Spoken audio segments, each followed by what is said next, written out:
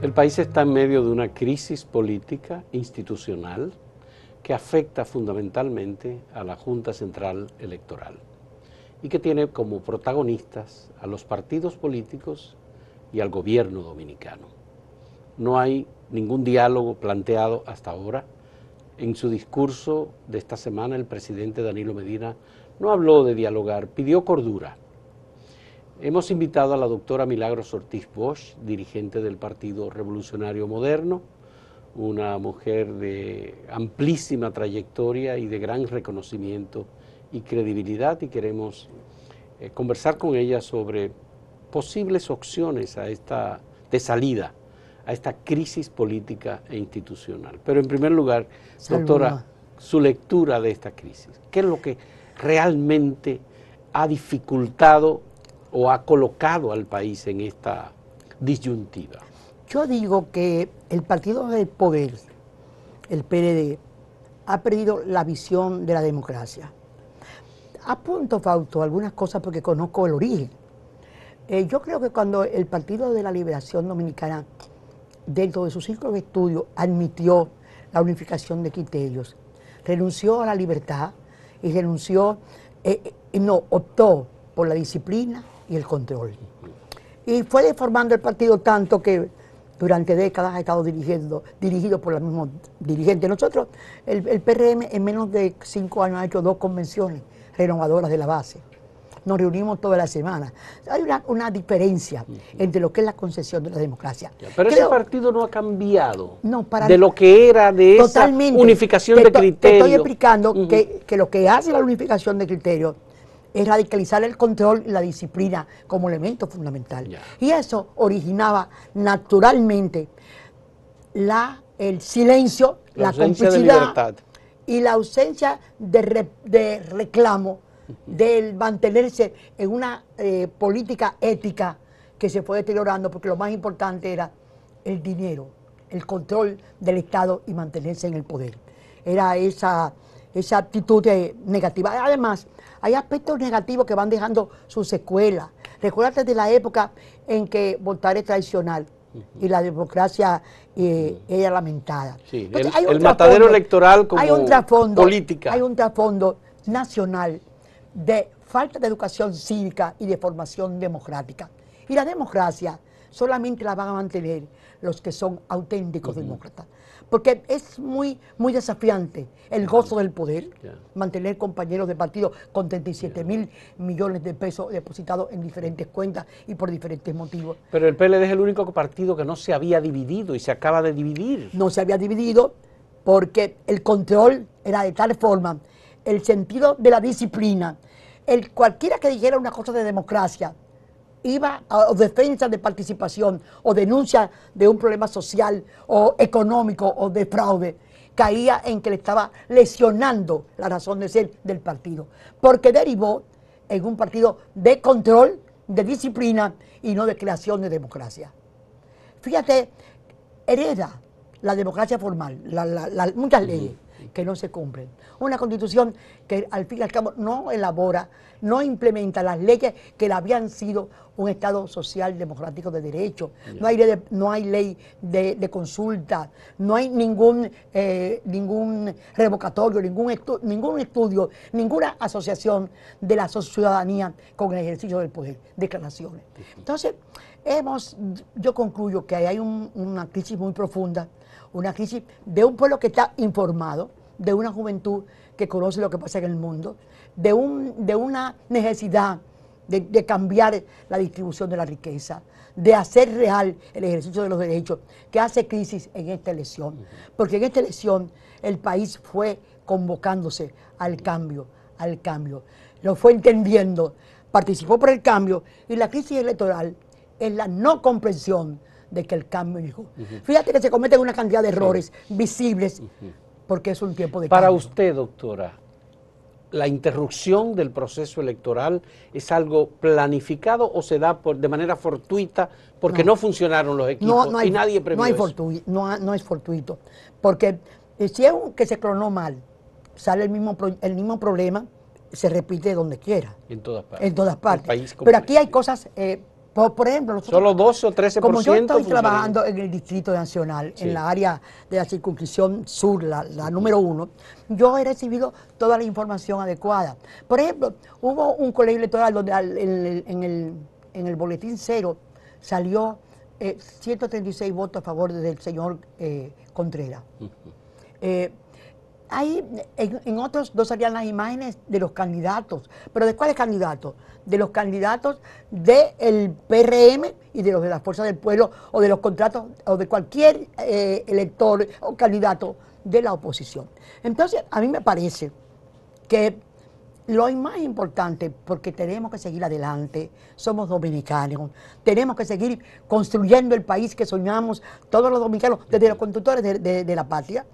Eh, y tenemos que buscar, conscientes de que ha habido problemas graves, queremos saber la responsabilidad, queremos saber a dónde se origina el problema. No podemos seguir como si nada había pasado. No pasó nada con la dictadura de Trujillo, no pasó nada con el golpe de Estado. No, en este momento llega una situación en que tenemos que comenzar no ha pasado nada con la marcha verde y lo que fue la lucha contra la, la corrupción y contra la falta pero si hay algún organismo del Estado participando en esta interrupción del proceso electoral, es un atentado al sistema democrático. ¿Y quiénes pueden investigarlo mejor? Pero investigarlo mejor. No investigar a un ciudadano por el simple hecho de que ha dicho una advertencia. El caso de Manuel Regalado, empleado de... Y la advertencia es una advertencia que viene de lejos, de procesos electorales fallidos. Eh, hay que ver que cada elección acaba casi con una crisis, muy pocas. Yo siempre me recuerdo de Estrella Sadalá, que logró hacer una cosa con, con, mucha aceptación. Luego de un fraude en el año Luego 94. De un fraude en el 94. Que no, la, la, fe se crea con, día a día, día a día. Y no quiere decir, quiero compartir un criterio de Roberto Fulcar, que dijo, nosotros no queremos apreciar a la, a la Junta, no queremos. Lo que queremos es que haya claridad de lo que pasó, para saber que vamos a ir, vamos a entusiasmar, vamos a, recomponer, vamos a darle. Nosotros apostamos porque la Junta recomponga su prestigio o acabe de hacerse creíble para el país. Nadie quiere lesionar a gentes que uno ha... Yo que he leído tantas veces los poemas de Carmen Inbel, yo que conozco lo que es la familia Castaño Guzmán, yo que conozco a doña Nervina, la madre, a Roberto Saladín, me doy cuenta que Henry Mejía es una situación muy especial, porque yo creo que ni siquiera puede debatir. Pero él, que él tuvo un ACB, un ACB. Entonces, se mantiene ahí. Muy precaria. Es tanto el miedo que hay a la Junta Central Electoral, que se mantiene ahí para mantener, porque sería muy difícil no meter ahí un activista rabioso y, de, y descomponer un poco el cierto equilibrio y visión que ha podido tener la Junta Central Electoral. Vamos a hacer la primera pausa en este diálogo con la doctora Milagros Ortiz Bosch, que es la coordinadora de un movimiento social en el Distrito Nacional que se llama Unidos Nacional por el Cambio. Y en el extranjero. Nacional también. Y en el extranjero también. Y dirigente del Partido Revolucionario Moderno, por supuesto. En un momento retornamos.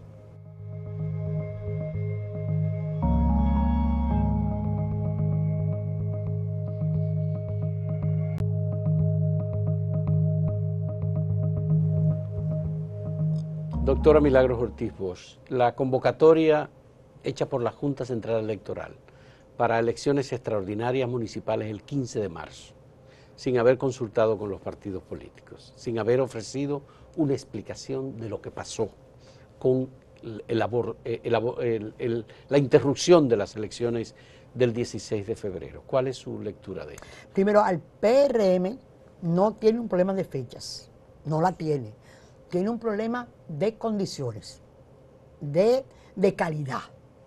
Eh, nosotros, como dijo Carolina Mejía, no nos importa que sea hoy, mañana o pasado, lo que nos importa es que vayamos al proceso con una cantidad de conocimiento de lo que pasó.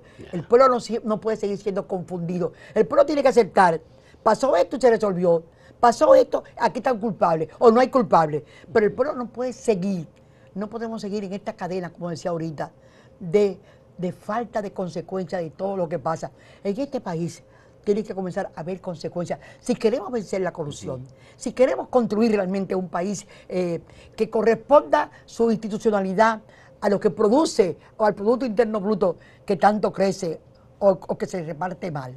Entonces, esta es la primera cosa. La segunda cosa es que la Junta necesita, mira, no, en nosotros quizás a veces pensamos más en la Junta que ella misma. La Junta necesita que la acompañe una, una, entidad. Que sea calificada en el mundo entero como que va a avalar el trabajo de ellos frente al pueblo y frente a ellos mismos. Estamos Fíjate hablando de IFES. De IFE, de la, de la OEA, de la uni- pero además estamos hablando de una Junta Central, de una OEA que develó el fraude de Evo Morales en Bolivia. No es la OEA de la época de las ocupaciones, es una OEA con matices y actitudes diferentes.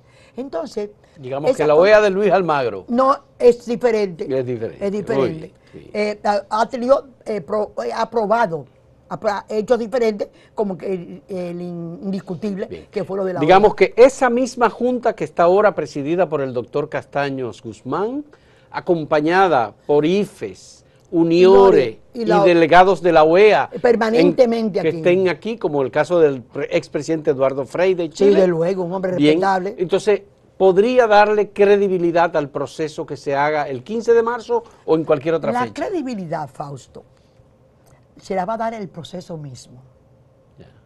Igual que la, la duda la da el proceso mismo. Las elecciones tienen un- una, una cosa eh, que hay que tomar en consideración, que la gente participa. Sí. La gente es activo. No, no se le puede esconder lo que está pasando.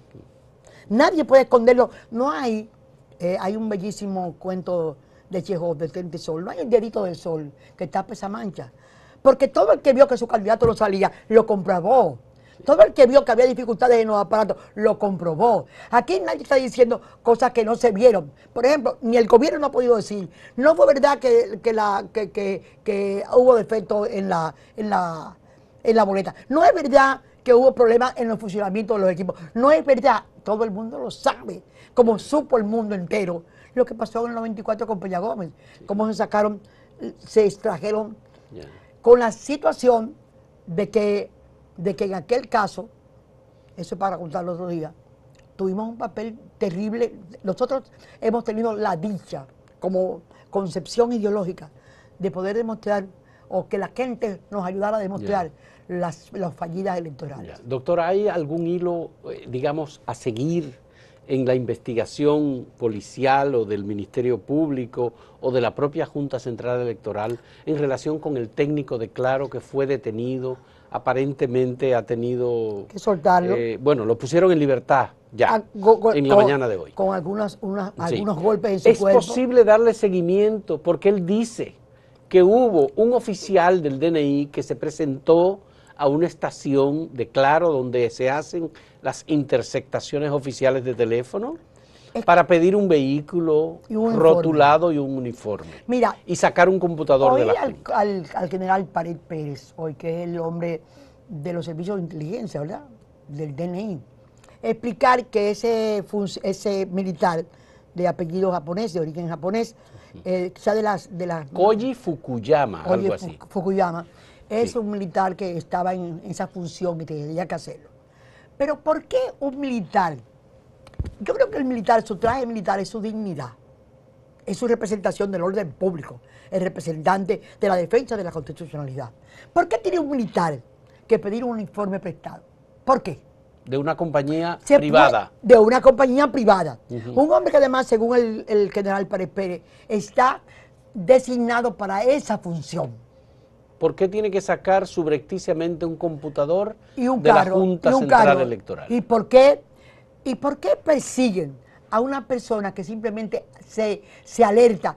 Porque esa persona, ese, ese señor regalado, no es un extraterrestre, es un dominicano que está preocupado por su país, que está preocupado por, por los antecedentes electorales que nos ha impuesto el Partido de la Liberación Dominicana, que gobierna el Congreso, gobierna la Procuraduría Fiscal, gobierna la Administración Pública, gobierna los medios de comunicación a través de una, de una cadena muy intrincada de informadores a su servicio. Ayer me sorprendió una persona por la que tengo un, un tanto de, de relación o de amistad, que puso como coronel, eh, coronel Abinader. Abinader. Como si la percepción fuera urgente crearla.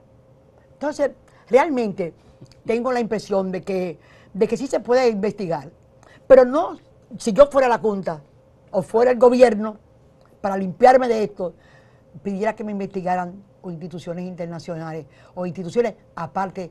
¿Cómo se va a investigar a sí mismo? La Junta Central Electoral. La Junta Central Electoral. Ella tiene que aceptar o pedir porque le interesa, porque es bueno que nos prueben que ellos también son sorprendidos, si son sorprendidos.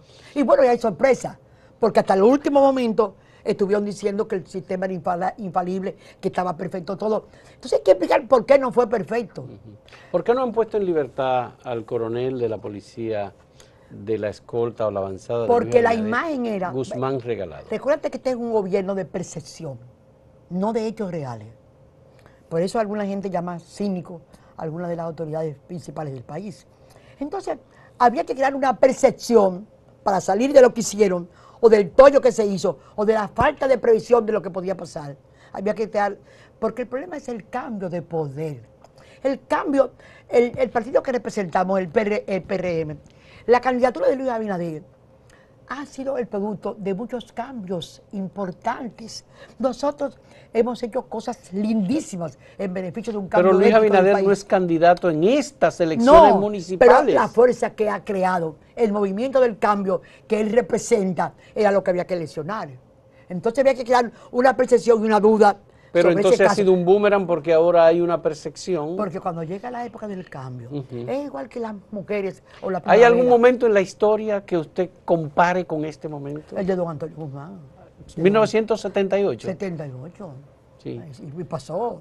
Pero en aquel momento había represión, hoy no. No. Había militares en las calles. No, no había. Hoy no. Pero el mundo se desarrolló hacia la tecnología, hacia la información. Por eso todos los, muchos de los teléfonos de los dirigentes principales de, nuestro partido están, el, WhatsApp está bloqueado. Por eso cualquiera... ¿Los teléfonos están intervenidos? El, WhatsApp, por ejemplo, de una cantidad de dirigentes del partido están sin funcionar y han hecho todas las diligencias. Ha habido notificaciones inclusive judiciales.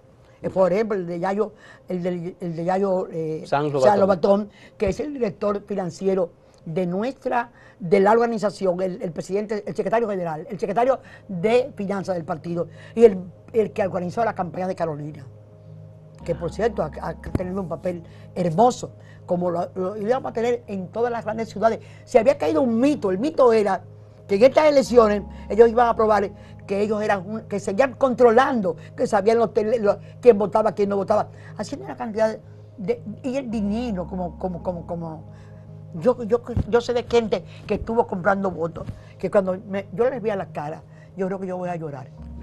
Vamos a hacer una última pausa en este diálogo con la doctora Milagros Ortiz Bosch.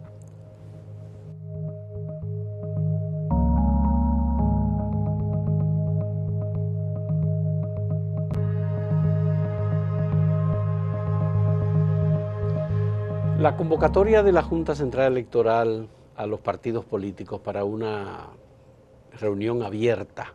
Solicitada. Eh, solicitada ayer por los partidos políticos. Debe haber sido provocada. Bueno, eh, esa convocatoria en la que se supone que, obviamente, es en horas de la mañana, nosotros estamos transmitiendo ya en horas de la noche, pero hemos grabado en horas de la mañana.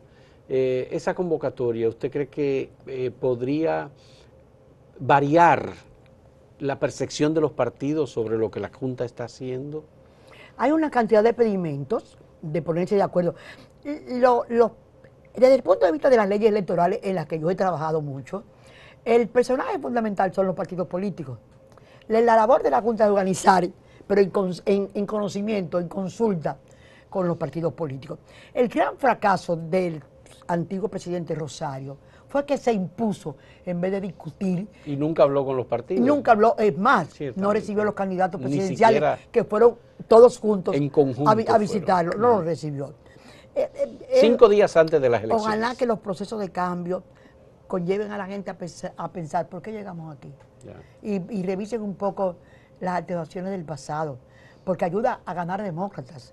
Y a mí me encanta cada vez que una gente puede decir, bueno, en el proceso de la historia yo fui envuelto, pero yo entiendo que esa cosa es hermosa. Esa es la crítica, esa es la revisión que queremos hacerlo. Entonces nosotros creemos que el espíritu del PRM, como de la mayoría de los aliados nuestros, es buscarle, ayudar a que haya elecciones. Nos interesan las elecciones ya. Ahora, ojalá que fueran ahora, ahora mismo. Pero queremos que sea con una credibilidad, que la cuenta que eh, diga esos fallos, esos números, sea creíble para el país. que, es un amor ciudadano, esto es democrático, esto es nacional. Sí, hemos visto las protestas permanentes aparentemente no organizada de jóvenes que se han presentado. Jóvenes de clase media, profesionales. En la Junta Central Electoral. Esa no, es la chispa, digamos, que puede encender la pradera. si no hay una actitud responsable del liderazgo nacional. Le recuerdo al país que el Túnez fue una persona que le quitaron, le prohibieron tener un carrito en la calle de venta, que había hecho legalmente para mantener su familia. Y ahí vino el problema de Túnez. El eh, Túnez suspendieron ah, las ah, elecciones bueno, sí, y no, en Túnez lo que encendió la pradera fue una cosa, una negación de derechos. Estamos hablando del domingo pasado. Pero en, ahí, está, ahí está Chile en la calle. Lo que pasó en Chile. Ahí está que los pueblos en Francia, ahí está en Argelia. No se Buteflika, al que yo conocí hace muchos años, no ha podido mantenerse en el poder. Llega un momento en que la gente no asocia que la, de verdad hay una revolución del conocimiento, de verdad hay una revolución de la tecnología. En este país hay 6 millones de, celulares. Entonces, la realidad es que debe haber una respuesta, una investigación. Mientras se va investigando lo que pasó, se va implementando lo que hay que hacer, pero no podemos seguir esta cosa. Mira, mira Daniel Sobato ha dicho que cuando los gobiernos se los partidos se perpetúan en el poder. Pasan estas cosas. Pasan este tipo de problemas institucionales y rupturas. Ya Daniel Sobato en las elecciones del, de pasada emitió una declaración diciendo que avergonzaba la Junta del proceso electoral dominicano. Y Daniel Sobato, que es el presidente para IDEA. para América Latina, es la autoridad mayor en procesos electorales. electorales. Pero mira, ¿qué, ¿qué, es lo importante para nosotros? Acabar con la impunidad o la falta de consecuencia. Mira aquí, está el Ministerio Público eh, asegurando las plazas en el próximo año, el periodo. Un concurso que termina el 22 de febrero para renovar las, los representantes de la sociedad, que son los procuradores fiscales de, a nivel nacional. Eso es la demostración, amarrar, la justicia. Yo me recuerdo que a Juan Bosch le dejaron una, una ley, el triunvirato, en el año 63, 63 que le impedía movilizar ningún eh, jefe policial de aquel entonces. Esas son tonterías, porque hay congresos que anulan o pueden anular las disposiciones de la ley. Bueno, yo recuerdo en el 2000... esto es, esta es la gente que quieren ahora poner para el control del Ministerio Público. El Ministerio Público que tenía que estar al servicio del proceso electoral, el fiscal electoral, no Lo designó el magistrado. Participación ciudadana, su primera eh, evaluación del proceso fue preguntar a dónde había y llamar por teléfono para poder conectarse con los procuradores fiscales. Los teléfonos que publicó el propio Ministerio Público. El propio Ministerio. Y se llamó y no aparecía. Entonces aquí está este señor, el hombre de ODB, el hombre que tiene de, Marino Zapete, porque en este país se acostumbra a perseguir al que denuncia con documentos la verdad. Sí. Ahí está el señor... Hablando, Jean Alain Rodríguez. Jean Alain Rodríguez. Entonces te voy hablando de que está buscando como concursos para designar para los próximos, eh, las próximas administraciones públicas los procuradores fiscales. Y eso es inaceptable. Eso es inaceptable. Recuerden el año 2000, usted recuerda en el año 2000 que a Hipólito Mejía le designaron un director del Indotel. Del Indotel, sí. Y el entonces presidente dijo, no, es que no puede ser. No puede ser. No puede ser. Es que eso no Por cuatro años. Esa, exacto. Era Mariano Germán, ¿usted se recuerda?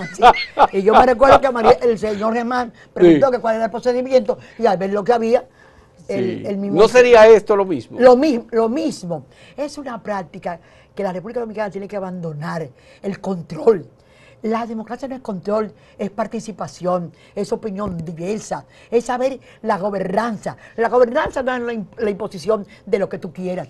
La gobernanza es saber conciliar a una nación y conducirle hacia el progreso, el desarrollo real, el de la gente. ¿Hay alguna posibilidad de diálogo, doctor, ahora Siempre, en esto? siempre. En el que se dialogue con el presidente o se dialogue con la Junta Central Electoral y se busque alguna salida.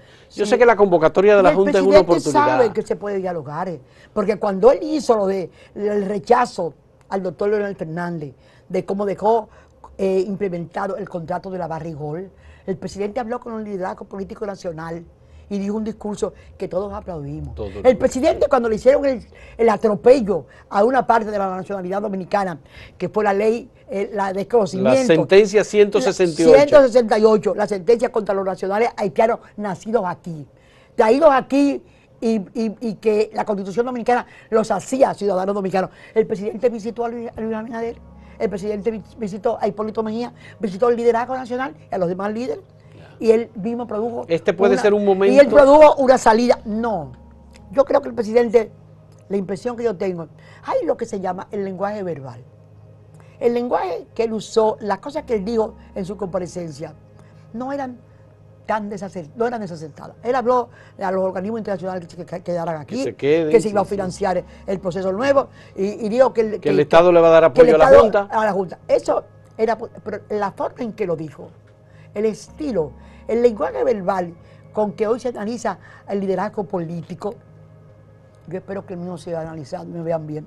Entonces realmente yo pienso que el presidente está un poco, el amor por el poder, la continuidad del poder, los llevó a dividir su partido. Se les cayó el término eh, fundamental. Todo partido dividido, porque yo he vivido eso, el gran mérito de Luis Abinader, incluso de Hipólito Mejía, es haber llevado esto sin división hasta el final. Nosotros no teníamos que entregarle al país otra división, sino crear una unidad diferente, una unidad en el diálogo, en la comprensión y en la representación del pueblo, que eso es lo que deseaba el pueblo dominicano. Entonces, en ese sentido, ojalá que paremos a tiempo esto, señor presidente, las plazas del Ministerio Público. Ayúdenos a hacer una nación como la quiso en un momento el profesor Juan Bosch. Bien, muchas gracias Bueno. a la doctora Milagros Ortiz Al ti, Bosch al ti. por aceptar este diálogo en este momento de crisis. Queríamos escuchar una voz con su experiencia, con las vivencias que usted ha tenido con el liderazgo político nacional, para que eh, haya eh, la posibilidad de, de concertación y que no nos deterioremos como democracia y de ni como país. No te olvides de la palabra que más me gusta en el mundo. La palabra- transparencia. La palabra transparencia. Bien, muchas gracias a la doctora Milagros Ortiz Bosch y gracias a ustedes por la compañía.